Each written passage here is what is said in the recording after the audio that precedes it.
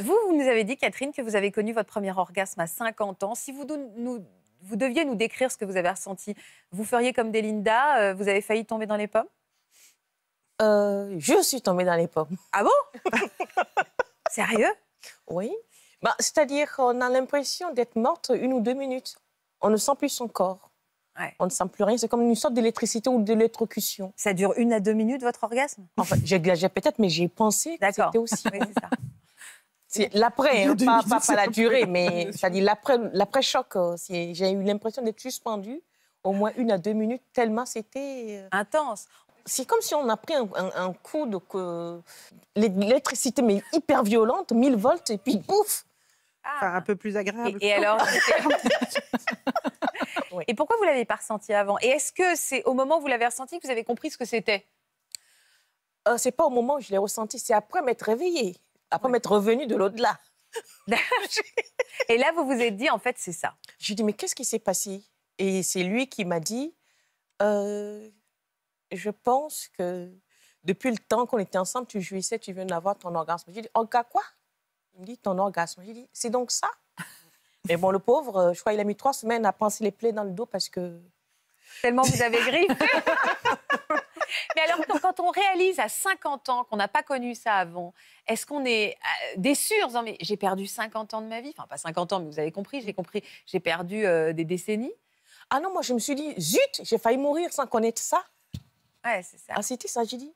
J'ai failli mourir sans connaître ce plaisir. C'est donc ça l'orgasme. C'est donc ça le sexe. Ah ben maintenant, à nous de ma fille.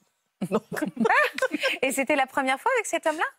Non, c'était, je crois, la septième fois. On s'était rencontrés. je crois, mais c'est précis. je suis pas sûre. Non, c'était au moins la, septième, fois. Oui. Parce que ce jour-là, c'était c'est moi qui ai voulu, en fait. Parce que ça se passait très, très bien avec lui. Et euh, au sorti du restaurant, parce que j'aime beaucoup les restaurants, et au sorti, je lui ai dit, comme ça, dans l'ascenseur qui montait, je l'ai plaqué au mur, je lui ai dit, ce soir, tu te laisses faire tu ne bougeras pas. Il me dit, ah bon, j'ai lui.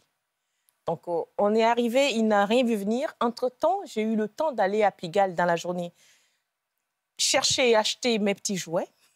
C'était quoi, ces jouets? bah, Des menottes. Ah ouais? Oui, des masques. Oui, oui, C'est symbolique, ça. Ce jour-là, vous avez décidé que vous preniez le pouvoir et c'est ce jour-là que vous avez atteint l'orgasme. Tout à fait. Mm.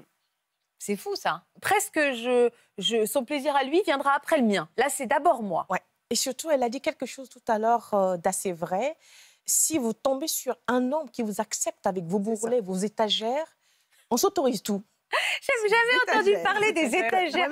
c'est mignon. Ah bah c'est plus mignon de dire, euh, de dire étagère que bourrelet. Hein. moi, j'en avais, quand je l'ai connu, j'avais euh, quatre de chaque, chaque côté. Je lui ai dit, bah, ce gars, il ne peut pas accepter ce corps-là. Mais lui, il était parfait tablette de chocolat, mon ah. Dieu. ah ouais, ah bah c'est Tablette de chocolat, plus jeune, beaucoup plus jeune que moi.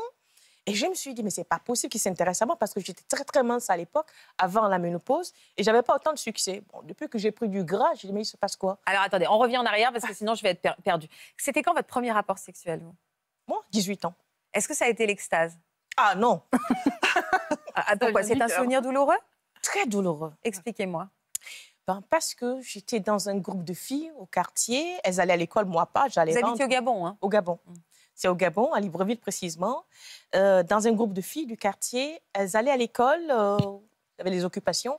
Moi, j'allais pas à l'école. Donc, euh, je vendais soit à la boutique ou avec ma mère ou j'accompagnais mon père. Et donc, chaque fois quand on se retrouvait, elles étaient là. Oh, j'ai vu mon copain. Oh mon Dieu, et le pied. Hum? J'entendais une autre, oh, j'étais avec un tel. Oh là là, qu'est-ce que c'était beau, c'était. Et moi, j'étais là, j'avais rien à raconter. Mais c'est quoi votre histoire là? Donc, c'était tout le temps le sexe, le sexe. Tout le monde était passé à la casserole, sauf moi. Bon. Un jour, je me suis dit, ma vieille, elle a marre d'être la risée du groupe. Et j'ai un ami du quartier que j'aimais bien. Je pensais être amoureuse, mais avec le recul, non. Je l'aimais beaucoup, sans plus. Et j'étais décidée que ça va être lui. D'accord. Sauf que le jour c'est arrivé, je n'étais pas d'accord. Et donc, je suis partie. En fait, c'était un peu le déni. J'étais partie pour ça, mais une fois que j'ai vu que j'allais passer la casserole, je me retractais. Et c'était tellement violent que quand je suis sortie de là, je me suis dit plus jamais. J'ai dit à mes copines, j'ai dit, mais c'était ça, vos histoires de 48 pieds, 20 étages? Je dis, mais c'est horrible. On me dit, oh non, c'est parce que tu sais pas y faire, il fallait te laisser faire. Mais laisser faire comment?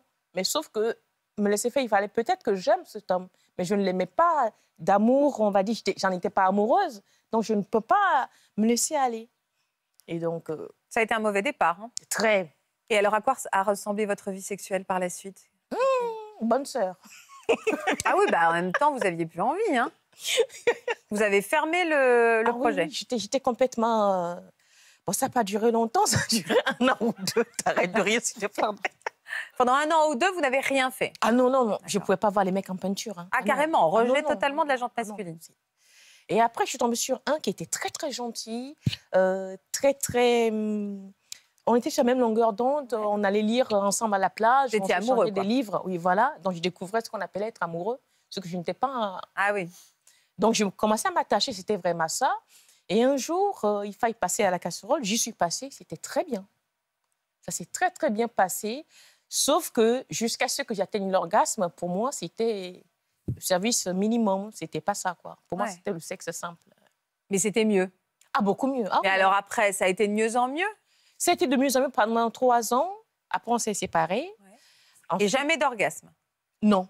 Aujourd'hui, j'ai découvert que je n'ai jamais eu d'orgasme. Oui, c'est ça. Mais à l'époque, vous pensiez que prendre du plaisir... Euh, oui, c'est ça, parce que c'était agréable, quoi. Voilà, Donc pour, vous, c'était ça l'orgasme. C'était ça. Oui, je comprends. Et donc, vous êtes séparés au bout de trois ans, et alors à la suite? Ensuite, j'ai eu mon mari. J'ai beau le mettre en garde, il n'a jamais été euh, violent ou prendre des décisions ou dirigiste, jamais. Donc, je me suis dit qu'il s'est adapté à mon, à mon rythme, peut-être, mmh, mmh. ou lui aussi n'était pas très, très porté sur la chose, il ne faut pas se mentir. On peut, un couple fonctionne très bien si tous les deux ne sont pas très portés sur le, sur le sexe. Euh, ça fonctionne parfois. Ce n'est pas une injonction hein, de faire l'amour. Bah, L'essentiel, c'est qu'aucun des deux ne soit frustré. Oui, c'est ah ça. Et, et, surtout pas de violence, évidemment. Mais si les deux sont d'accord, on n'est pas obligé, on peut trouver son plaisir ailleurs. Hein, euh, on n'est pas obligé d'avoir une activité mmh. sexuelle extrêmement importante. Surtout que je pensais que c'était ce qu'on faisait, c'était l'extase en fait. Pendant que j'étais avec lui. oui, vous pensiez que c'était super. Ah oui, pour moi c'était. Donc c'était quand même des bons moments. Ah oui, très mais pas essentiels quoi. Non, non c'était de ah, très C'était agréable. C'était agréable. C'était agréable. C'était un peu, un peu, un peu pas très drôle. Bah, euh, non, je dirais pas ça. C'est-à-dire, en fait, je pense que le changement d'herbage fait comprendre à quelqu'un que oui, là. Le euh, changement d'herbage. Oui. J'adore cette expression. Hein, les brebis, les vaches, on est très. Voilà. nous fait comprendre que l'herbe est plus grasse ailleurs. Mais tant qu'on est attaché au même arbre, on se dit que c'est. Tant qu'on est attaché au même arbre, moi j'adore, je vous adore. Euh, vous êtes resté combien de temps avec votre mari? 17 ans. Donc une sexualité plan-plan, satisfaisante. Vous, ah avez vous avez eu des enfants? Oui. Oui, donc vous étiez aussi le regard enfin, porté sur autre chose, sur votre ah famille. Mais alors, comment vous l'avez rencontré, euh, celui dont vous, enfin, le, l'heureux élu? Ben, J'ai habité Neuilly pendant 14 ans, Neuilly-sur-Seine, et donc j'allais tout le temps marcher et courir au bois.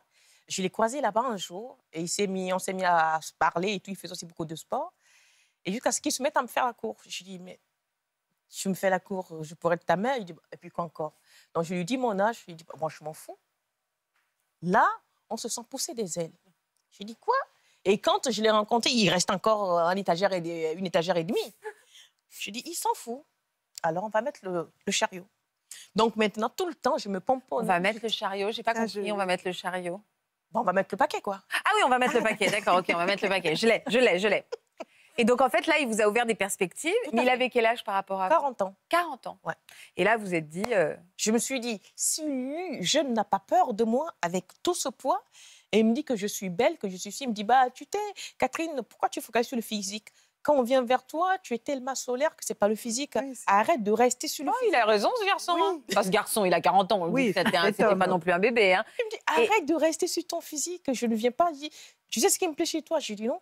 Tu te fous de tout, tu rigoles tout le temps, n'importe quel sujet tu parles. C'est ce que je cherche. Alléluia.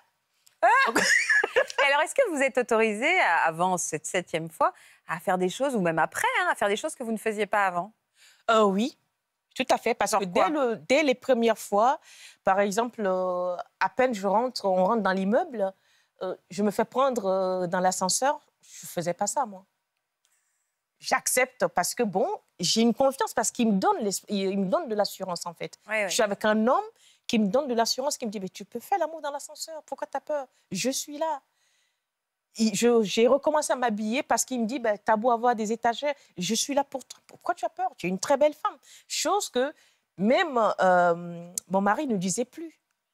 Alors que quand on était, enfin quand on était jeune, quand j'étais beaucoup plus jeune, il me disait, mais pourquoi tu n'aimes pas ton corps? Tu es très belle. Je n'aimais pas les jupes.